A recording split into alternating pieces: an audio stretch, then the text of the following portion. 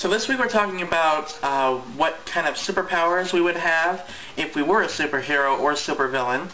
And I'm, I, I came up with some ideas, um, but the first one, I, it's not very original. Because someone already said it on this channel. So thanks, Brit.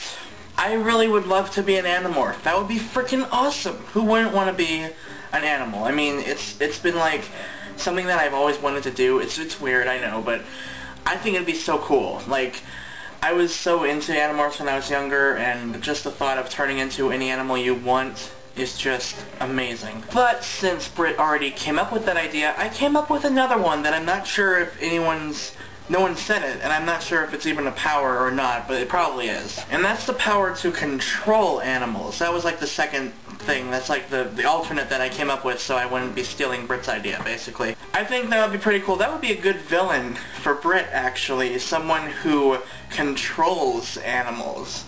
That would be a really good villain idea, actually. Of course, I probably couldn't be able to control Brit because she's actually a person, but it, it would make a pretty interesting story. I mean, maybe, I don't know. Maybe, maybe not. And then my second idea was to have me be a villain and have the power of Nightcrawler from X-Men and be in Wing Zero so that I could I could teleport Wing Zero anywhere I wanted and destroy any city I wanted just for fun. Cause that's just who I am! That was a horrible Ali Al Saachez impression, I'm sorry yeah, I think it would be really fun to be a villain, even though I'm not really cynical in any way. I'm like the nicest guy you ever met, so I probably couldn't even be a villain, but I think it'd be pretty fun. I, I mean, I wouldn't want to kill anyone, but I don't know. It's just, I don't know if I could be a superhero or a supervillain. I don't know if I'd even make it as one, but it'd be kind of fun to be a supervillain. So that's pretty much it. I would be the Ali Al Saachez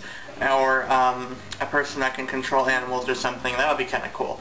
But anyway, but I, I, I no, I, that sounds actually really sick, the idea of me being Ali Al Saachez, oh my god. Of course, he is my favorite villain, but yeah, he's freaking creepy. I don't think I'd be cut out to be a, um, Ali Al Saachez, but anyway, that would be just interesting. That's what I think, anyway. So, I hope y'all enjoyed this. I'm sorry this is kind of a little late. I always do my videos late. I'm sorry for that. I procrastinate. Had a good day Mother's Day with my parents, so it was kind of a busy day. But anyway, so I hope y'all enjoyed this, and I will see you guys next week, and we will see Kay tomorrow.